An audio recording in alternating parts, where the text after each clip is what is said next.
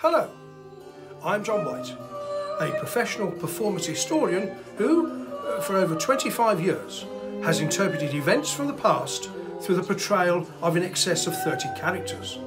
Of all the characters I portray, it is my representation of King Henry VIII that proves the most popular. I present the king as he would have appeared in the year 1544, when he was aged 53 and married to his new and sixth wife. We hope that you enjoy what the King has to say.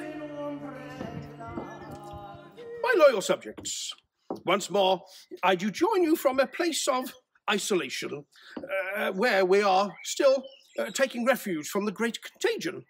You will recall that some days since I did engage in a Q&A and was pleased to answer questions submitted by my goodly and loyal subjects spread across the face of the world. We have been mightily impressed uh, by the number of questions that have been submitted. Indeed, in our last Q&A, we did answer 10 such questions. Now, I have a further 10 questions, uh, which I'll be pleased to address with you. Uh, the first question today is from a Master Towner, uh, Master Ricky Towner, from Birmingham in England. He asks, Your Majesty, did you truly love any of your wives? Or were they simply just marriages of convenience, of status, or to produce an heir? And secondly, uh, do you have any true regrets for how you treated them? Well, I did marry my first wife, Aragon, for I did truly love her. As I did say in a, a previous answer, of all the women in the world, it was she I did choose, but she did fail me in that she did not produce a male heir. I thence did marry my second wife, uh, Boleyn, for I was truly captivated by her, struck with the dart of love. I did marry the Mistress Boleyn, I did make her my queen, and I did hope for an heir, a girl and two dead boy children is all she produced. And then hmm, she did play me false. The poisoning witch and whore Boleyn. But then I did marry my third wife, beloved Jane Seymour, of glorious memory. She, in that year of 1537, did give unto me a fine, healthy boy, Edwards, born upon the feast of St. Edward's. At last, my people had something to rejoice of, a lawfully begotten son born of the king's body. But then it did please the Lord our God to take my beloved Jane from me.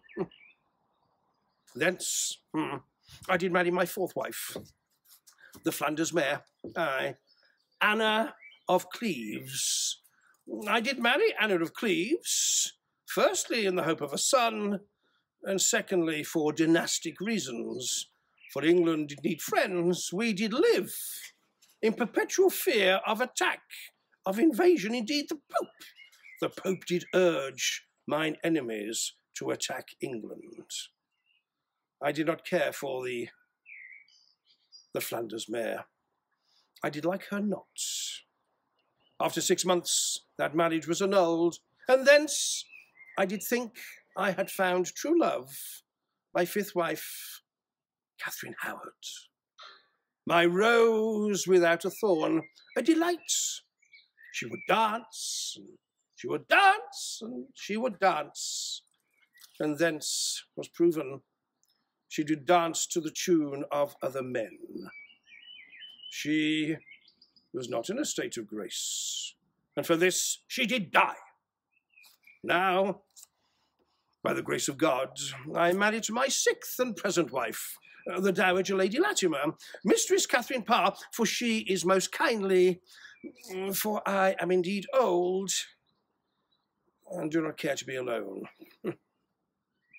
In your question, Master Towner, you ask, did I truly love any of my wives?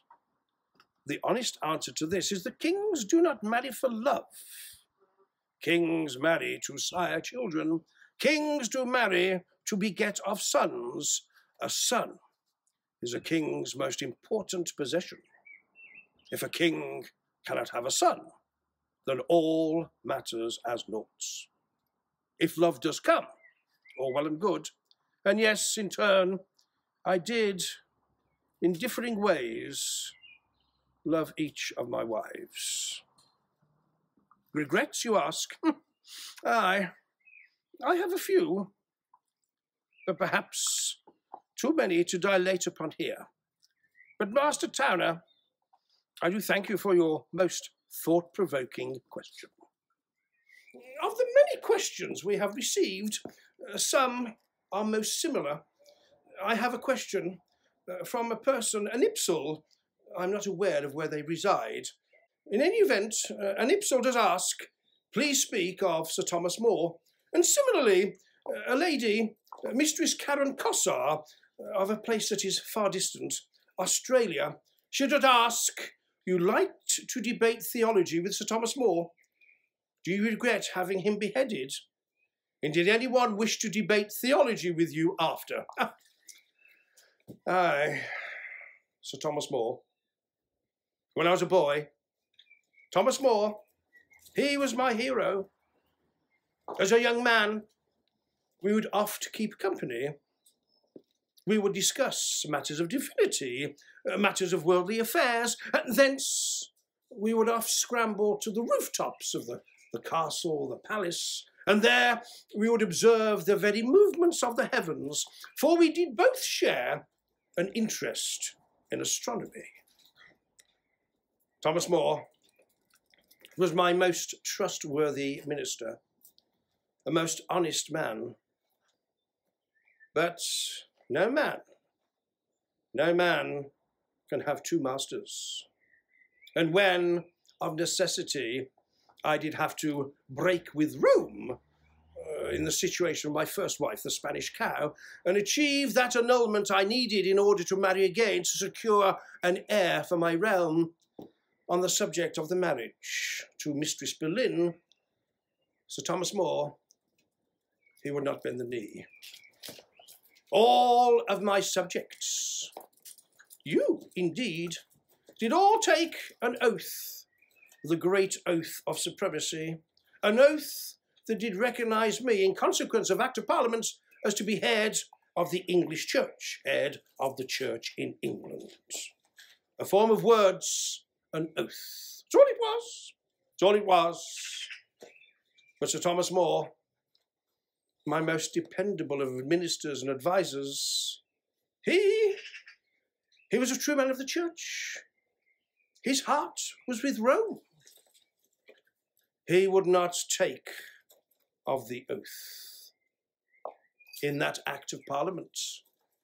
Failure to take of the oath was treason and treason is death. Thus, the lawful process did take its course.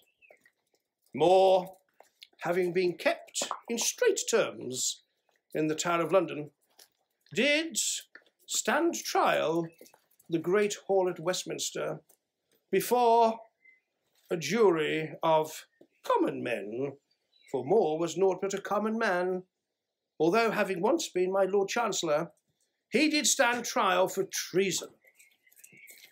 Those goodly citizens of London did find More guilty, and he was sentenced to that death, the death that falls to all traitors, men who are traitors, to be hanged, to be drawn, and to be quartered.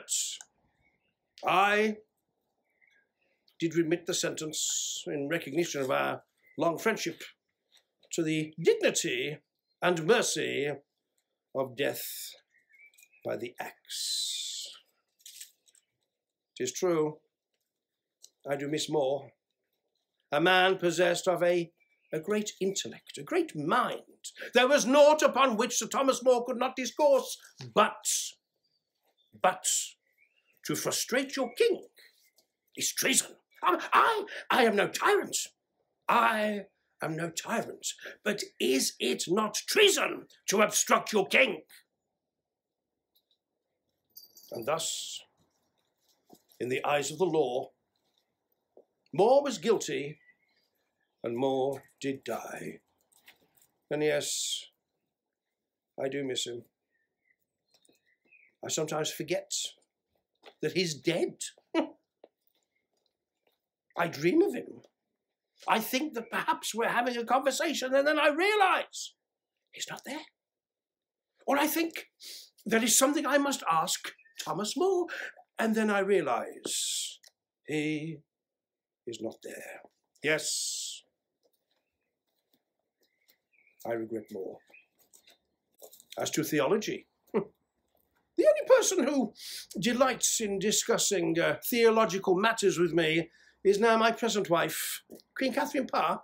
She has written a book and had it published in her own name uh, on matters of theology, divinity, and such like. She does delight in speaking of theology. Uh, sometimes I wonder who is the king and who is the subject. She is almost as a teacher and will perhaps seek to teach me all of theology. Hmm. One of subjects, yes. I have another uh, question via YouTube uh, from a lady, Mistress Natalie Jones. She does thank me for uh, entertaining my uh, loyal subjects with our films of late. And then there is the question um, Is there a fact in history that is actually incorrect about my reign? Well, actually, there are several facts that are incorrect facts that I know are oft repeated in your time, the modern time.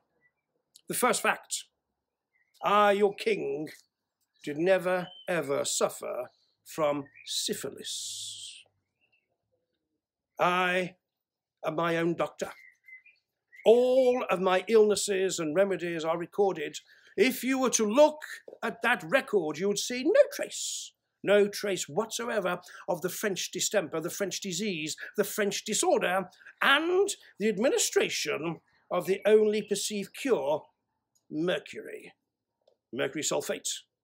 Mercury sulfate does give pronounced salivation. Those who have taken the mercury cure, like the King of France, Francis, King of France, he did take the mercury cure, for he did quite fittingly have the French distemper, the pox. This mercury gives the pronounced salivation, and you dribble, and you drool, and you're very moist. It is the belief that this salivation is the cleansing of the system. But it is a fact. If you should be stricken with the pox, and then be taken with the mercury cure, it is a race to see which will kill you first, the pox or the mercury. I did not ever have syphilis. Uh, another point that needs to be checked. I did injure my leg in the year of 1536, having injured it many times before, and thus I do often hobble on my leg. Some believe I have gout. nay, nay, I do not have gout. I have a leg that has an open wound, does ooze of pus and blood, and which has caused me a great deal of pain. Thirdly, the incorrect facts that need setting right. I was born a Catholic. I practice the true Catholic faith. I, of necessity, did sever my links with Rome, but in particular, I did sever my links with the Pope and by Act of Parliament, I did become head of the church in England. I was born, I do live, and I will die a Catholic. Oft it is said that I was a Protestant, a Protestant. This is not true. And that I did form the Church of England. There is no Church of England in my time.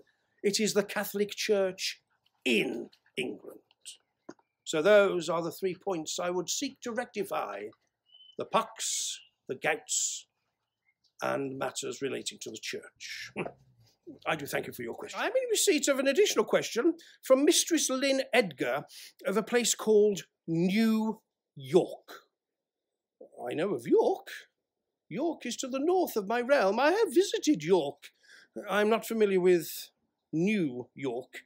But in any event, she does ask. They say that uh, Anne Boleyn's last words were her profession of love for me.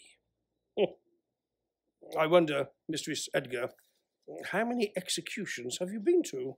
You see, as you do stand upon the scaffold, the axeman has the weapon of death in his very hands, and you are indeed just a few heartbeats from death yourself. It is customary indeed for those who are to die uh, to make great pronouncements, often praising the king and such like. For, Anne Boleyn was no different in this respect, there is always the chance, always the chance, that a messenger may arrive with a last minute reprieve. And so, would anybody who was about to die, uh, but in the hope of a reprieve, would they stand there and say detrimental matters to me the king, or of me the king. Of course, they all declare wonderful fealty to the king.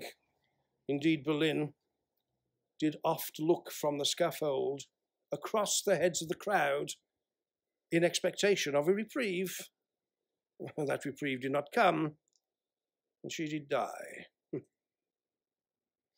Whilst whilst we're on the subject of heads, I have a question here from a young fellow. He's aged nine, uh, named Xavier. Again, I know not where he resides, for this question did arrive via YouTube. But he just asked this young fellow, Your Majesty, did people put traitors' heads on spikes to warn people of the repercussion of treason? My mother likes Tudor history and also me. Well, I congratulate you for that, Xavier. Yes, heads were put upon London Bridge. In particular, they were located on the Surrey Bank, that is, the south end of the bridge, across the river from the City of London. They did stand upon spikes so all those who did enter the City of London, uh, crossing the river at London Bridge, it being the only bridge across the river, would see arrayed above them the heads of those traitors. For in my time, justice not only had to be done, it had to be seen to be done. And there, this array of heads was a very stark and visible reminder to behave yourself. Indeed, there was a poor fellow who lived in the lodge at that part of the bridge, who was known as the keeper of the heads. It was his responsibility to place those heads upon the spikes. Now, a head, a fresh head, is boiled in salted water, flavoured with cumin seeds to aid the stink the head is boiled and boiled and boiled until it is quite black. In this boiled state, uh, the blood having been removed, it is found that the birds, the crows and such like, do not peck at it quite so much. The head in its boiled state lasts so much longer, so it is there all the longer for people to observe. Xavier, it is quite a gory question for a nine-year-old, but I do thank you for your question. uh, further questions that have arrived hither by that contrivance uh, entitled YouTube. Uh, thus, I am not aware where these people reside, but I have a question from a lady, a mistress, who terms herself Diana D. She asks, Your Majesty, which of your many palaces and royal houses was your favourite residence? This is a goodly question.